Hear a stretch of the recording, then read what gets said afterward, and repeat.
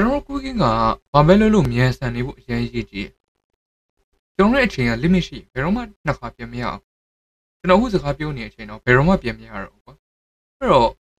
ဒီလိုအရာရာလွယ်ကူလှည့်မြန်စွာတိုးတက်ပြောင်းလဲနေတဲ့ခင်မှာ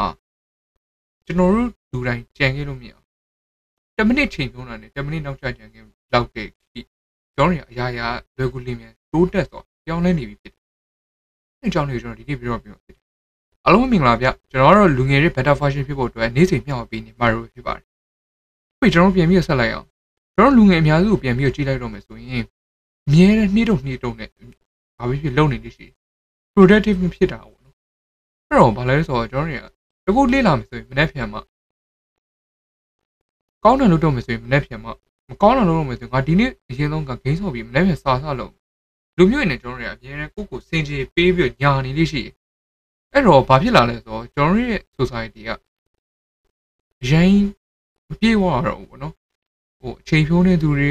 လိုက်ပြီး blame နေတဲ့သူတွေဒီလိုလူငယ်တွေသာများလာမယ်ဆိုရင်ကျွန်တော်ရဲ့အနာဂတ်ကိုစဉ်းစားကြည့်လိုက်အားလုံးပဲသိကြပါလိမ့်မယ်အခုကကျွန်တော်တွေကဘာလဲဆိုတော့အရန်မြန်နေဖြစ်တယ်ကျွန်တော်အရင်တော့ကဟိုးရင်ခင်တော့ကျွန်တော်အဖေမေလက်ထက်တော့ဝေးတစ်ခုယူပြီးကျွန်တော်ကောက်ကောက်နေလို့ရသေးတယ်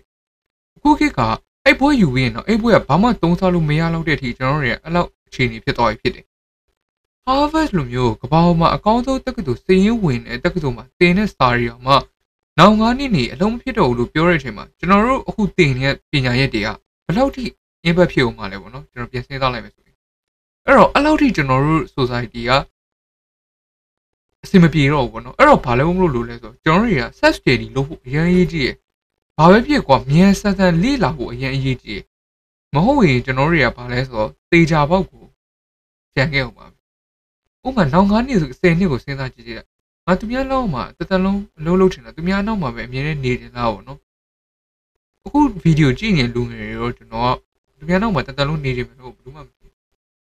တော့ဘောနော်ကိုကသူများနောက်မှာမနေရင်သူများတက်ပို့ပြီးတော့စူးစမ်းဖို့အရင်အရေးကြီး ရှင်းရှင်းလေးဒီ concept လေးอ่ะကွာသူများတော့မနေတယ်မို့ဆိုသူများတဲ့ပို့ထုတ်သားကိုထိုးတာဟုတ်သူများလောက်မှမကြိုးစားနိုင်ဆိုရင်တော့သိချတယ်သူများနောက်မှာပဲတစ်သက်လုံးနေရလိမ့်မယ်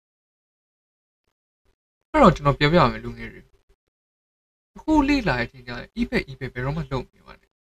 မြင်မြင်ဆက်ဆက်တွတ်တွတ်လက်လက်လေ့လာပါအလုံးလုံးရင်လည်းမြင်မြင်ဆက်ဆက်လုပ်ကိုအချိန်ဆွဲလိုက်လို့နောက်9နှစ်10နှစ်မှာရလာမယ်နောက်တော့ဘယ်ရမှကြောက်ဖို့ကောင်းတာမရှိဘူး စဉ်းစားကြည့်လိုက်တော့ငါနောင်ငါးနှစ်နောင်ဆယ်နှစ်အတွက်ငါအခုချိန်အချိန်ဆွဲလိုက်တဲ့အရာနောင်ငါးနှစ်ဆယ်နှစ်မှာသူများတွေကခုထက်အများကြီးသာနေသူပိုကောင်းတဲ့နေရာပိုကောင်းတဲ့ better version တွေဖြစ်လာပြီ။ကိုကအဲ့အချိန်မှာဒုံရဒုံရဖြစ်နေမှာဆိုရင်ဘယ်လောက်ရှင်တာကောင်းကျွန်တော်ဒီဒီအကြောင်းအရာလေးကိုကျွန်တော်ဒီမှာပဲဒီ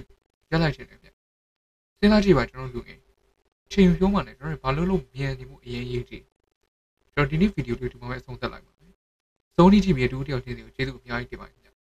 ကျွန်တော်တို့အကုန်လုံးမနေ့ရက်ထက်ပို့ပြီးတော့ဒါ